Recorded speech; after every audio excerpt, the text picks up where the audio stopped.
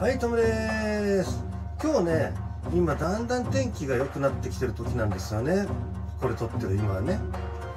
なのでね布団を干す。ね布団についてお話ししましょう。その前にね僕雑学の方を毎日ね一つは投稿してますのでたくさんの雑学に埋もれてしまう前に保存ボタンとかの方をよろしくね。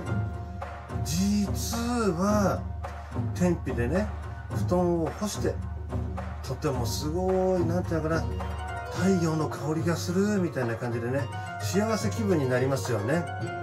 でもこれまた実はその匂いってねダニの死骸の匂いだったりダニの糞の匂いなんですよ。本当のことを言ってごめんね。そんな感じでした。